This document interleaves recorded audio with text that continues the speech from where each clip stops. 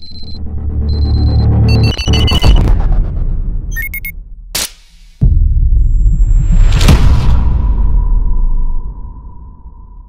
guys, Saki here from Saki Tech and in today's video I'm going to be sharing 10 crucial settings to enable or disable on your Samsung Galaxy smartphone. So let's dive in and get started. These are some very important and useful settings that you need to be aware of if you own a Samsung Galaxy device. Let's dive in. Now the very first thing I want to talk about has to do with the actual display. So we want to go into display and go all the way down. At the bottom over here, we have something known as the touch sensitivity option. Now, if you have installed a screen protector on your smartphone, which you probably should, you want to go ahead and enable this option here. This is going to allow you to increase the touch sensitivity of the actual display because when you install a screen protector, the touch interface takes a slight hit so even though the phone feels faster, it is actually a little bit slower because of that extra lag the actual screen protector produces as an additional layer on top of the display. So if you have installed a screen protector, make sure touch sensitivity is enabled so the phone is nice and responsive and experienced the way it's supposed to be experienced. Let's move on. All right, so the next one has to do with security. So let's go to the settings. Let's scroll down just a little bit, go into lock screen, tap on it. And then over here, what you have is you have something known as the secure lock settings. You want to tap on this and it's going to ask you to put your PIN number, do that, and you'll be in this menu right here. Now here's the most important thing you want to actually enable. This one says lock instantly with side key. Additionally, you want to go over here and you want to make sure the phone is locked immediately. You want to make sure these two are enabled. Now if I disable this one and also make this, let's just say 30 seconds, look at what happens. I'm going to lock my phone and let's say I just walked away.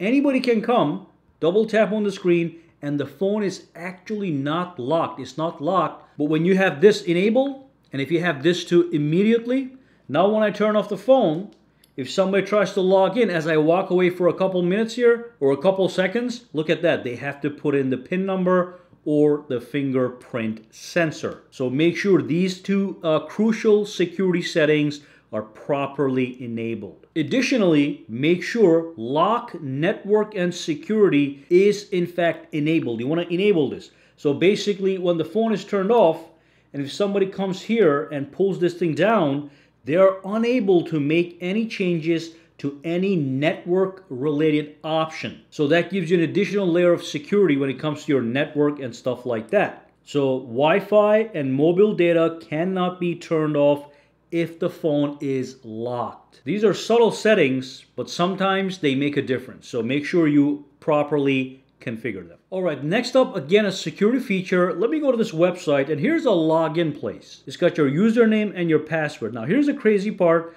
The username is not a big deal. Obviously, everybody can see that. But when you are typing your password, if somebody's looking over your shoulders, let's say I press A.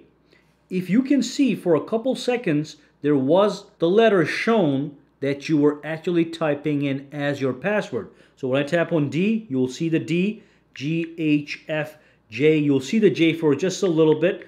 Uh, if somebody's staring at it like a hawk, they might be actually memorize your password, especially if your password is simple, which unfortunately a lot of people have that problem. So I'm going to show you guys how to disable this so when you are typing stuff, nobody can see what you're typing. All you see is just these black dots. So what you want to do then, you want to go to settings, you want to go all the way down, actually not down, you just want to go to biometrics and security. You tap on it, then you want to go all the way down, go to other security settings. You tap on it, and here we have an option that says make passwords visible. Okay, why would you even do that? Make it invisible. Now when I go back over here, okay, and I try to type something, you'll notice it doesn't give that little preview, okay? All uh, you see is just the black dots. So just one extra layer of security. And also just a nice hidden feature to be aware of, okay? Let's move on.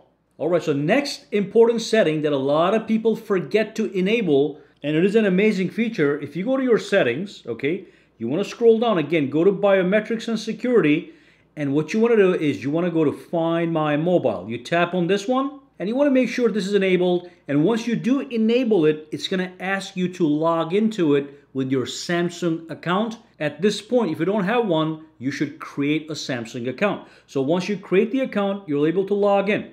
Now, basically what Find My Mobile allows you to do, if you lose your phone, you can track your phone on a web browser by simply going to findmymobile.samsung.com. And then you log into it using this account right here that you use to log into this service. So here's a scenario. The phone got lost. You have no idea where it is. You can go to any computer. You can go to your friend's phone. You can, you can pull up your tablet and all you have to do is type in this address here, findmymobile.samsung.com. In fact, let me click it, okay? It will take me to a website.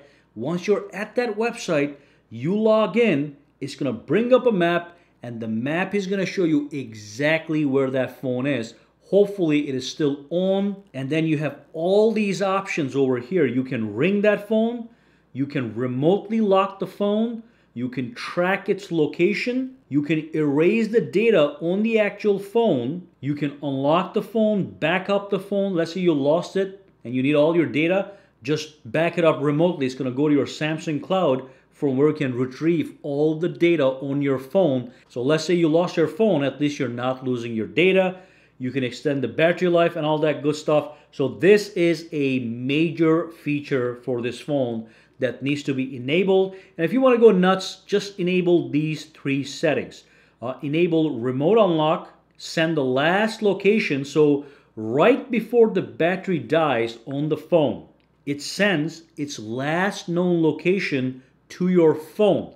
So at least you have an idea where it was right before the battery died. And then you can turn this on as well. The more of these options are enabled, the easier it is to locate a phone that has been lost.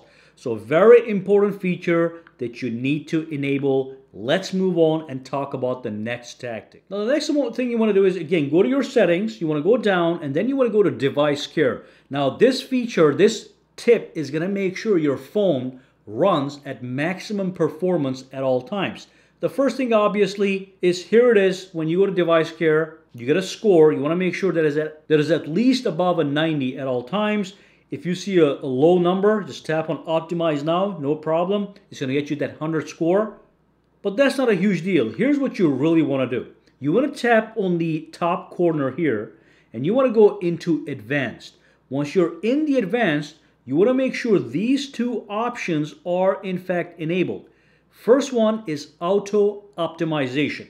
In my case, it is scheduled to run every night at 3 a.m. And now I'm going to enable this as well. Close apps to free up memory on your phone. So this is just going to auto optimize my phone every day and get me that 100 score automatically. So when I wake up in the morning, my phone is at 100, fresh and good to go for the day. The other thing you want to do is you want to go back into the advanced and you want to go to auto restart, enable this, and pick a day, just one day per week or two per week is enough. So let's just do, uh, let's do Monday and Thursday.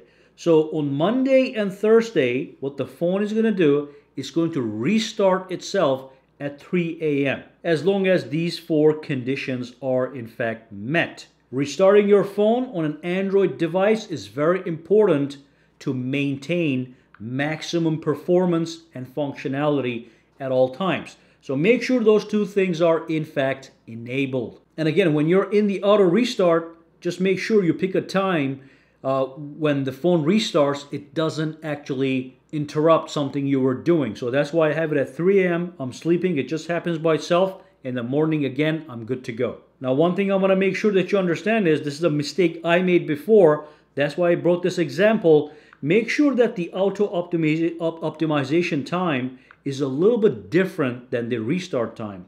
So I can do the auto optimization at 2 a.m. Okay, so they don't uh, conflict with each other, and then auto restart do it at 3 a.m. after one hour, but only on Mondays and Thursdays. All right.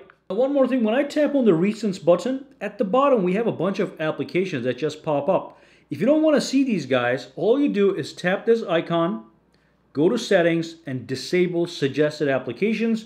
Now it's going to look a little bit more cleaner. The apps at the bottom, the recently or most used applications are gone. I, I realized that I never actually use those, so I just turn it off. If you don't need something, just turn it off. Believe it or not, on a microscopic level, it saves you some battery.